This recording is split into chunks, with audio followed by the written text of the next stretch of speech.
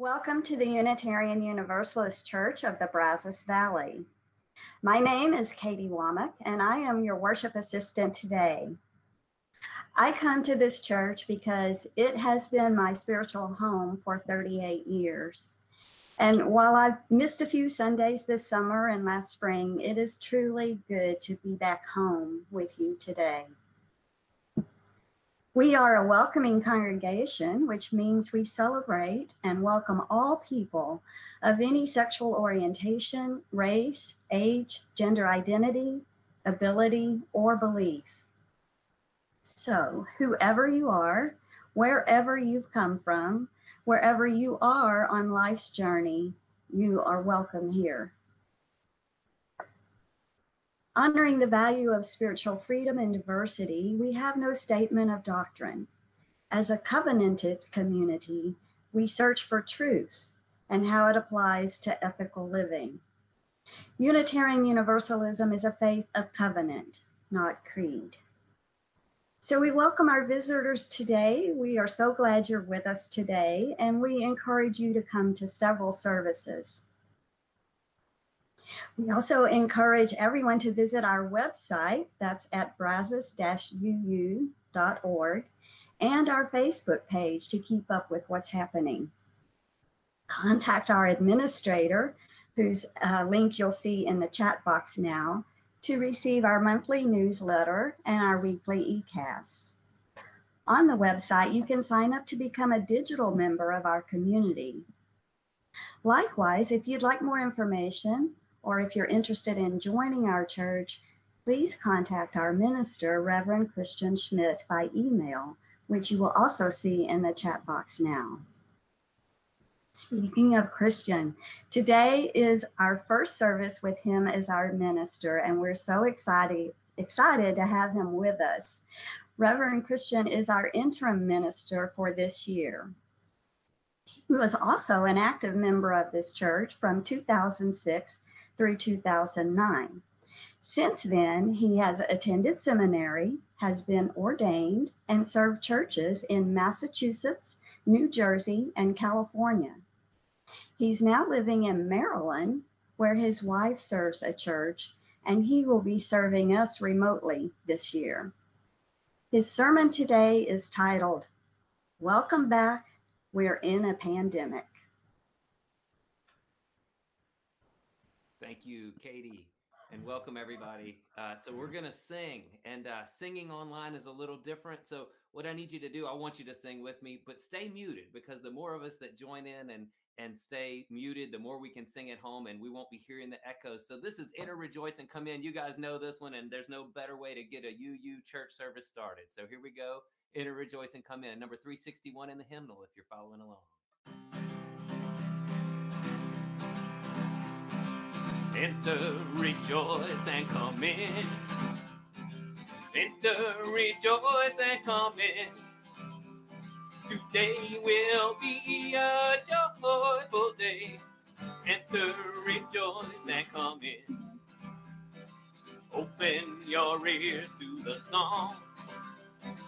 Open your ears to the song. Today will be a joyful day enter, rejoice, and come in. All right, open your hearts, everyone. Here we go. Open your hearts, everyone. Open your hearts, everyone. Today will be a joyful day. Enter, rejoice, and come in.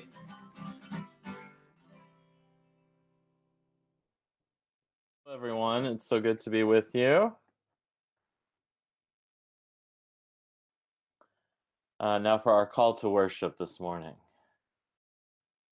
Friends, welcome to this special gathering as we join together in both time and commitment, even as each of us is in different physical spaces. We come together to share our joys and hold our sorrows, to learn and to be transformed, so that we might go out into the world, either physically or virtually, to change it for the better. So let us embrace this time apart from our normal time in the week, this time we have together, this time to be with one another in love and support. Let us worship. Thank you, Christian.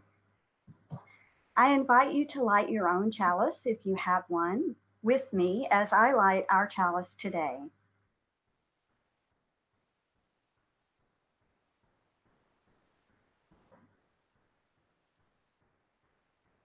Please say our chalice lighting words with me.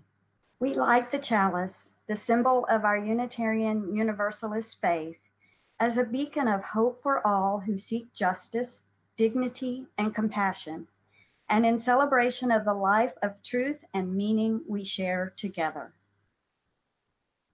And now join me in affirming the mission of our church. Love is the spirit of this church, and service is its gift. This is our great covenant to dwell together in peace, to seek truth in love, and to help one another. Thank you, Katie. So each week we have a time for all ages in which we share a message for everyone. And this week I wanted to introduce myself to all of you. Um, some of you know me from a decade or so ago, um, and a lot has changed since then. I'm married, we have four kids. So um, even if you knew me 10 years ago, there's a lot to learn. Um, but I wanted to talk a little bit about my role here and my my past too, and just to introduce myself. Um, and so one way to do that is um, I wanted to show you my stole today. Um, a lot of ministers wear these stoles. It's one of the symbols of ordained ministry. And this one is a very special one I was given on my ordination. And part of the special part of it is uh, on one side, um, it's very beautiful and it has a lovely chalice, which I think you can see right there. My mother made this, um, but it's actually the backside of it that I like even better. Um, because the backside is made up of lots of pieces of t-shirts from my life. Um, so one of the first ones, I guess it's upside down. Hold on, let me let me get it right, right side up here. Is a Noah's Ark T-shirt that was one of my very favorites when I was a child. And one of them is a piece of the uh, shirt I was taken home from the hospital in, a special delivery at Brackenridge Hospital. Another is I'm a Brookside baby, where I went to daycare a long time ago. Austin High School was not my high school, but it's where I went to the Child Development Center, which was sort of a, a special daycare run by the uh, public schools the time and so on down. We can talk about Austin Children's Choir, where I was a really active member for years as a child and youth. And of course, I was active in the choir at UUCBV for um, several years too, and loved it. And it was an important part of um, the church experience for me. And keep on going all the way down. This is from my high school, LBJ, and from my junior high, even further down all sorts of wonderful things. I went to the University of Houston where I was one of the Bleacher Creatures, which is sort of a uh, sports fans group there. Um, and all of this, all the way down to some of the seminaries I went to. I went to two seminaries Andover Newton, which is there.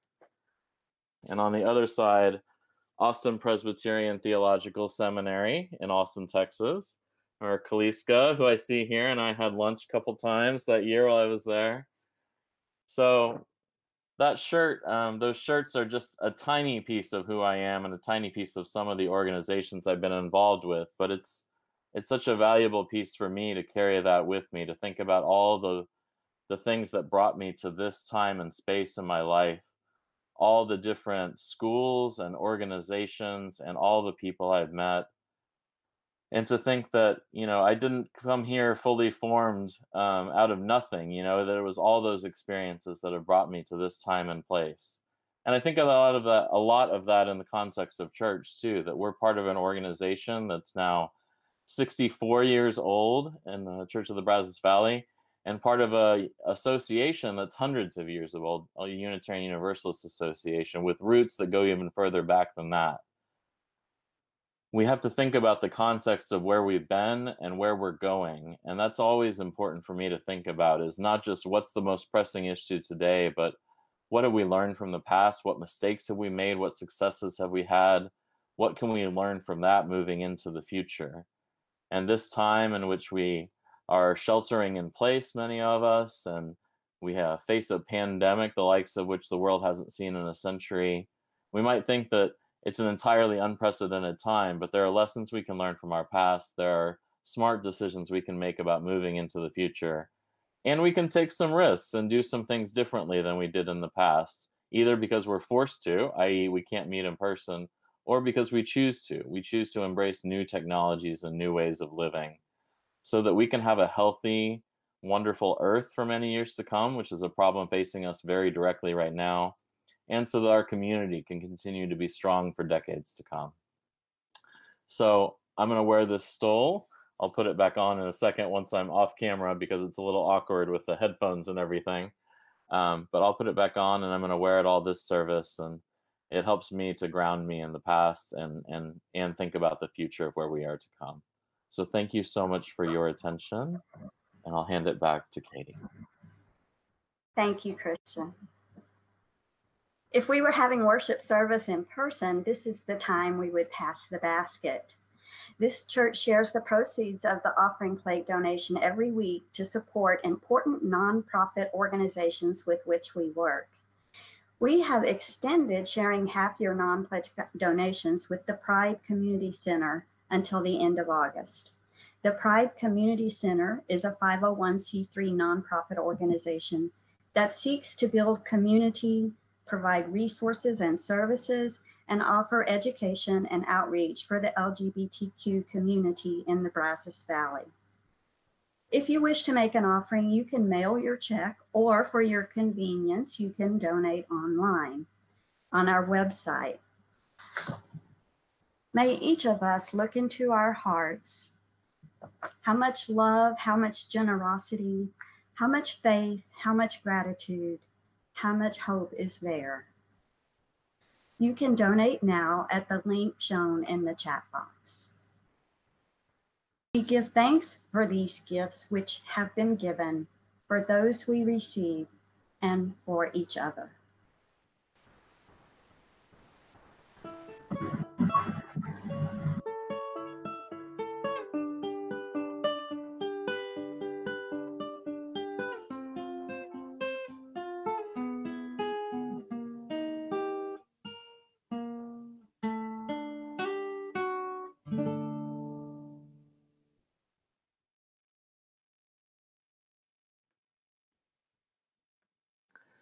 Today's reading is a poem called Pandemic, which you may have heard of. It got quite a bit of uh, notoriety just a few months ago. It's by my colleague, the UU minister Lynn Ungar. She writes What if you thought of it as the Jews consider the Sabbath, the most sacred of times? Cease from travel, cease from buying and selling, give up just for now on trying to make the world different than it is. Sing, pray, touch only those to whom you commit your life. Center down. And when your body has become still, reach out with your heart. Know that we are connected in ways that are terrifying and beautiful. You could hardly deny it now. Know that our lives are in one another's hands Surely that has become clear. Do not reach out your hands, reach out your heart, reach out your words, reach out all the tendrils of compassion that move invisibly where we cannot touch. Promise this world your love, for better or worse, in sickness and in health, as long as we all shall live. Amazing grace, how sweet the sound that saved a soul like me. I once was lost, but now am found. Was blind, but now I see. 'Twas grace that taught my heart to fear, and grace my fears relieved. I once the precious did that grace appeared. The hour I first believed,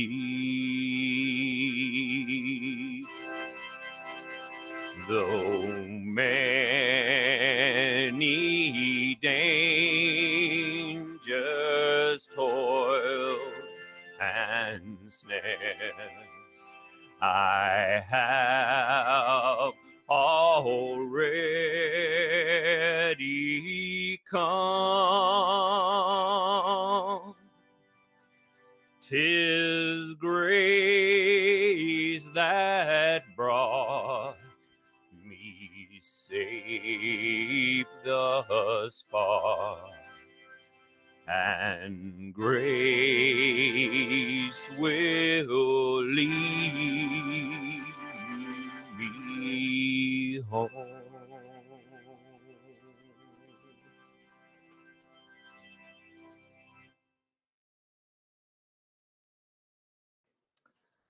Thank you so much, Joe, for that lovely rendition of Amazing Grace.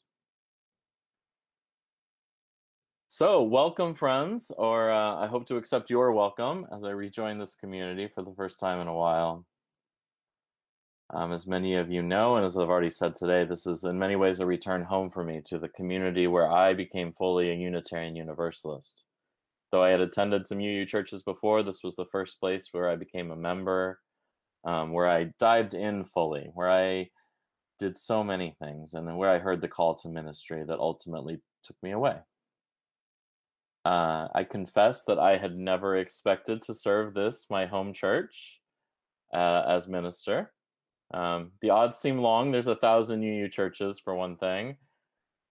Um, and there are concerns to have about serving the place that has known you as a congregant. Will they ever really see me as the minister, too? But then again, this has been very much a year of the unexpected and of things we uh, used to see one way and now see a different way. I never expected to live through, much less minister during a pandemic. There's been no disruption of the world on this scale because of a disease in more than a century. Who could have expected it? Well, those of us who did expect it, those few, have been telling us and warning us for years, but most of us couldn't listen. But I want to ask you to take a moment just now and think. Think back to six or so months ago, to the lives we had and how they're different now. Think about some of the changes in your life, in the lives of those around you, perhaps some of those we've lost to this disease or to others. Think about all the changes. And think too about how we've adjusted to this new reality, how quickly. I went to a shop recently to get some groceries, some household items, and it, it struck me quite fully how strange it was to be walking around a place where virtually everyone was wearing masks, when a few months ago that would have seemed very strange to me. Now, here at least, and in many places, it's the norm. At the very least, it should be the norm for all of us. I think about these changes and how we've adapted so quickly, how quickly humans adapt to all sorts of changes, whether we want them or not, and how we're going to adapt to the next changes, because I fear this is only the beginning of the changes. Even once we get the virus under control, there will be the rebuilding, the building a new future still with many issues to deal with climate change, our political issues, the continuing forms of oppression in our country and around the world that we have only begun to wrestle with. But let me tell you a little bit about me too, because this is my first service with you. As I grew up in Austin, Texas. My father still lives there. My mother sadly died several years ago, quite suddenly. Though my mother had grown up in a Unitarian church and my parents were married in one, we didn't attend church when I was growing up. My main experience of religious community was going to other people's churches, mostly to sing in their choirs, frankly, because they can always use an extra tenor or baritone. I went off to college at the University of Houston, where I started working for the student newspaper, which ultimately led to my first career working for daily newspapers first for a small daily in Natchez, Mississippi, and then here in Bryan College Station, where I joined this church. I joined it quite quickly. It's not something I recommend for everyone, but it worked for me. I remember my uh, first trip there, in fact. Sharon Boston, who I see here today, met me at the door. I don't think she was expecting a visitor at 5:30 on what was a Friday or something, but she graciously showed me around and let me know everything she could about the church. It seems so long ago, that decade, but also it seems so long ago just a few months ago. It's funny how time works. In fact, I speak in our household, our family speaks, and maybe you do too, somewhat jokingly of the before times. You know, February. Way, way back when back before my kids were suddenly home all the time. Back when working from home went from occasional luxury to constant absolute necessity. Back before even a trip to the grocery store seemed like a scary prospect. Back before I was terrified that I might accidentally catch a virus and give it to someone I love and kill them. We've adapted so quickly and will continue to adapt.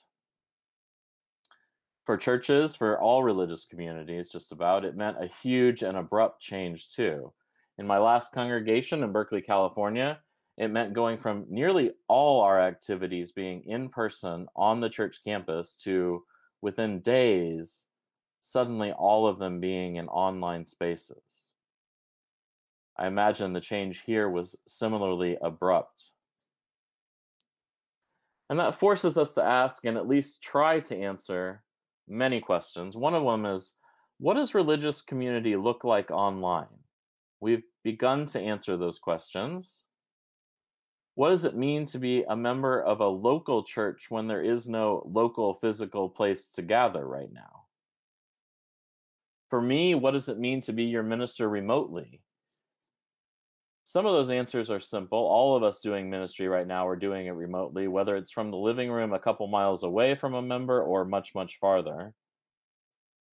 We're learning even more the importance of the phone and the internet and texting, of writing actual physical letters and cards. We're using all of these new and old technologies to stay connected and to do our work, the work of ministry and of church. Some of the leaders in this congregation and I are talking about some of the places where this might be difficult for me. If a member is in the hospital, how will we visit them? With the added complication that visiting in hospitals and retirement homes and other such facilities is either greatly limited or altogether not off the table right now. And of course, there are more mundane but also important questions. How do we pay the bills? How do we collect money from our members to keep doing what we're doing? How do we choose whether to do worship live like this or pre-recorded as many congregations are doing? Which services and programs will we use to meet and do this? There's zoom and google meet and youtube and facebook and the list goes on. All of these questions matter and we have partial answers to at least all of them and none of them are as important as how do we form community because all of the ways we gather and share and learn and worship are technologies. Papers is a technology, microphones in our sanctuary are technology, buildings are a technology, virtual worship is a technology. All of these are tools ultimately that help us to form community, to live out our values and ideals. Some of them may be better or worse for our particular context, but all of them are simply tools for a greater purpose. The Unitarian minister Theodore Parker gave a very famous sermon about 180 years ago in which he spoke about the transient and the permanent in the Unitarian Christianity then of his time. His point, if I can boil a 45 minute or so sermon down to a few sentences, was that there are some things which are always true and are really matter, really matter. And there are some things which come and go, and while they're important, especially in the moment, are ultimately not essential to apply that to today, we might say that the way we gather has changed dramatically these last months, but the reasons we gather have not. Whether we're physically present in the same room or present only in the same space online, we're still called to build the beloved community, still called to be with one another in love, still called to transform our aching world towards health and wholeness. Now, I firmly believe that there's no going back, even when we can once again gather in person, hopefully in the new, wonderful building we're in the process of making. We can't go back to just the way things are. This forced change to using virtual and online methods has shown us that they can have powerful and far reaching effects in our community and in the world. And we have to continue to incorporate and use those. How we do that is the question we have to ask. But I say this there's no going back. We have to use all the technologies we can to do the best job we can. That's gathering in person, that's using online technologies to share with people both near and far that's using the accessibility that these technologies afford us to reach people who may never come through our doors, but are nevertheless committed members of our community and are part of making the beloved community happen. I'm looking forward to having those discussions and to all the discussions that will lead towards getting this community a wonderful, settled minister in the future. That, my friends, is my real job as interim minister, is to help this congregation move into a new era. It's particularly stark that this new era will involve a new location, a new context, many, many new things for this congregation. So, in this year, we'll be working on interim tasks. I'll tell you a whole lot more about what those tasks are in coming weeks, but they include things like discerning and affirming who the congregation is. We probably have a strong idea of that, or rather, we may have several strong and perhaps conflicting ideas of who that is, and we should talk about that reality. We'll talk about where the congregation is going, both physically, virtually, and metaphorically, and what we're called to do into the future. Again, a large conversation for us all to have. So, friends, mostly what I want to tell you today is that I'm so excited about doing this work with you. I'm excited about trying a new form of ministry that we're bravely stepping out to be a part of. I'm excited about doing the same important ministry together in all the newest ways. So, may it be so. May we all be a part of it. And I look forward to speaking or texting or emailing or whatever with each and every one of you in weeks to come. Feel free to reach out to me via email or phone. I'm available and I want to meet all of you. And fortunately, it's a small enough congregation that that's a reasonable goal for me in the next few weeks. I'm excited to touch base with those of you I haven't spoken to in a long time and those of you who I've never spoken to. Um, please know that I'm available and um, I want to get to know you. I hope you want to get to know me too as we embark on this important work um, over this coming year. And Pam has helpfully provided my email once again in the chat box. You can use that um, and we'll set up a, an appointment for a Zoom meeting, phone call, whatever, all the newest technologies to do all the wonderful ministry. May it be so.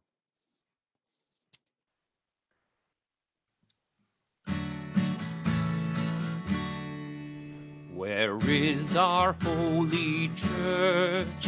Where race and class unite as equal persons in the search for beauty, truth, and right. Where is our holy writ?